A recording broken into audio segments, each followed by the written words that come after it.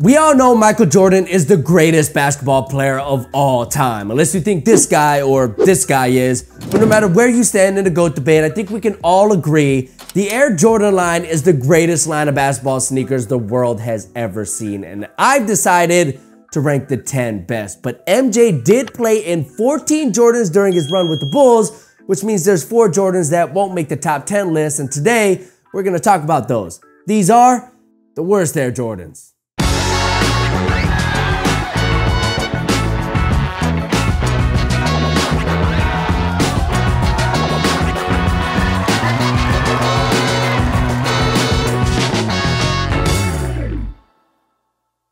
All right, so before we get started, I gotta remind you guys that this is part one of a three part series where I basically take Jordans 1 through 14 and I rank them from worst to best. So once you guys are done here, definitely go check out those other two videos. You guys are YouTube experts, you know where to click and all that jazz. But like I said, today's episode is all about the worst of the worst. And I wanna start by talking about the Air Jordan 2 because these are the Jordans that I think are loved the least. Now, personally, I actually really like the Jordan 2s. When I unboxed these from downstairs and I took them out of storage, I was like, damn, man, the Jordan 2 is actually pretty nice. But you have to understand something. Back when these first dropped in 1987, there wasn't a whole lot of hype around the Jordan 2s because remember, Jordan spent most of that season injured. And when he came back, he actually didn't wear the 2s very often. He actually wore this sneaker right here this is a hybrid between the Jordan 1s and the Jordan 2s because the upper is the exact same as the first Jordans, but the midsole as well as the outsole is identical to the Jordan 2s. And I think this is because Jordan had just come off of a foot injury and he wanted more impact protection. But whatever the reason may be, it didn't even seem like Jordan was that hyped about the 2s as well. So you can understand why their popularity just kind of took a little bit of a hit. In fact, the designer of the Jordan 2s, Peter Moore, was fired by Nike after putting out this shoe. And that's when Tinker Hatfield took over the Air Jordan line. And Peter Moore actually tried to convince Jordan to leave Nike with him, but Jordan kind of looked at him and was like, nah, I think I'm good here. I think it's safe to say that he made the right choice. Now, despite the two's misfire to connect with the mainstream like its predecessor did, it's still an iconic sneaker. It was the first sneaker Nike ever put out without their iconic swoosh logo, which when you think about it is pretty crazy because back in 87, Nike was still kind of an up and coming company and to put out a product that is endorsed by your star athlete without your logo is pretty crazy. But Nike did hedge a little bit by putting a small Nike tab on the back of the heel.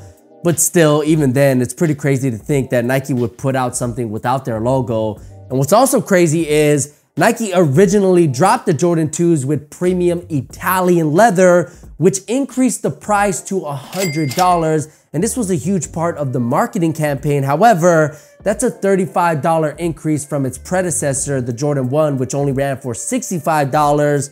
So the Jordan 2s were more expensive, not as appealing. Jordan didn't really seem to want to play in them. And the retro treatment for the 2s haven't been that great at all with one, maybe two colorways worth adding to your collection. So that's why I think the Jordan 2s are the worst or least best Jordan of all time. But like I said, I still like them. I would love to hear what you guys think about them in the comment section below. But at the end of the day, someone's got to be at the bottom. And I'm sorry, Jordan 2s, but you're just not one of the best. All right, next up, as one of the worst Air Jordans ever, we have the Air Jordan 9s. Now, the 9s get a bad beat because MJ unexpectedly retired before the start of the 93-94 season. So we never did get to see MJ in the 9s on the court.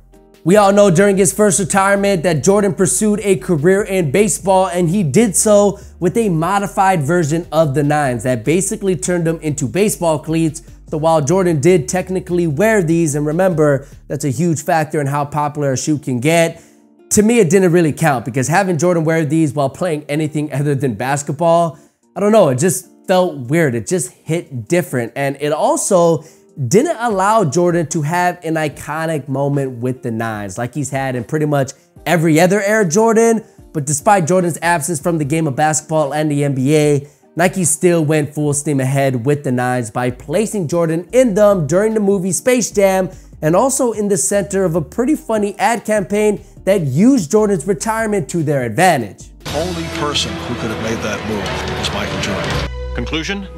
Michael Jordan, the greatest basketball player of all time, is letting nothing stand in the way of what he loves to do. And that's just play basketball.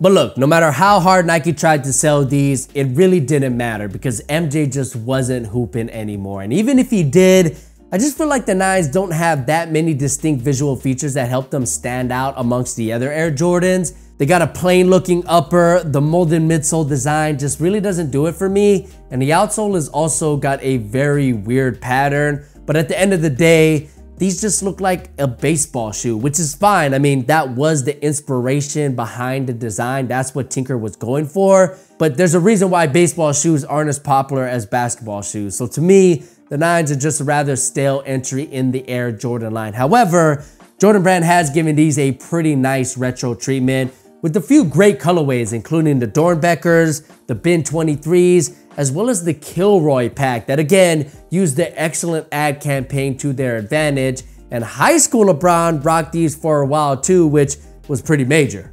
Oh, and the statue outside the United Center has MJ wearing the nine, so I guess that's their iconic moment. But if the most iconic moment the Nines have to offer is being on the statue of Michael Jordan, I think it's safe to say that these are definitely not one of the more iconic Air Jordans ever, so that's why I have them on the outside of the top 10. All right, next up, we actually have the successor to the Jordan 9s, the Air Jordan 10s. Now, these are one of the more forgotten Jordans in time because technically, it's a great shoe. I mean, the visuals are clean, the performance was spot on, and MJ even had an iconic moment in these with his 55 point performance against the Knicks in MSG but again, he only played half a season in these. And when you compare them to the 13 other Jordans that he played in, it just didn't really make that much of an impact. The Air Jordan 10 dropped while Jordan was still playing baseball, and Nike decided to design the 10s as a tribute to MJ's illustrious career with a list of his accomplishments on the outsole. So instead of feeling like a brand new Air Jordan sneaker, the 10s felt more like a trophy piece that was a celebration of everything the Air Jordan line had achieved in MJ's career. Because remember, we didn't know Jordan was coming back out of retirement. For all we knew, he was retired for good. So the 10s, I mean, they just hit different. It kind of felt like the first Kobe AD sneaker, which was still a Kobe Bryant sneaker, but it also kind of wasn't because he was retired and Kobe wasn't to wear them anymore. That's kind of how everybody felt when the 10s first dropped in 95. Now, as we all know, MJ did eventually come back to the league and just five games in, he dropped 55 points in the 10s in the mecca of basketball, but that was during the regular season. Jordan actually did not have an iconic moment in the 10s in the postseason. In fact, he actually decided to wear the successor to the 10s, the 11s, early in the playoffs without Nike's permission, which the NBA actually fined him for because it was too white to wear on the road. I know it's a weird rule, but my point is the 10s just had really weird timing. And that's why I don't think they're one of the 10 best Jordans of all time, even though Nike did drop some great colorways back in 95 with the OG City Pack. And Jordan Brand has kept the 10 active in the retro scene with some great colorways and also with some not great colorways as well. All right, so last but not least, we have the Air Jordan 8. Now, as you can see, I actually don't own a pair of eights, which is perfect because even though I'm a huge Michael Jordan fan and I collect sneakers, I could just never justify spending my money on a pair of eights. For whatever reason, I just don't like the eights at all. They're no doubt a unique looking sneaker with their two crossover strap design that is distinctive visually, but in a way, it kind of hurt the eights off court appeal as the straps provided a tight fit, which is great for on the court, but a little uncomfortable off of it. Now that didn't really seem to bother Jordan as he wore the eights while completing his first championship three-peat, all while averaging an insane 41 points per game against the Suns in the playoffs. Sorry, Chuck, but even you understand. Hey, Mike, I got my own shoe. My own initials on it. Now, originally, Nike did drop some great colorways of the eights, like the aquas and the black and red playoffs.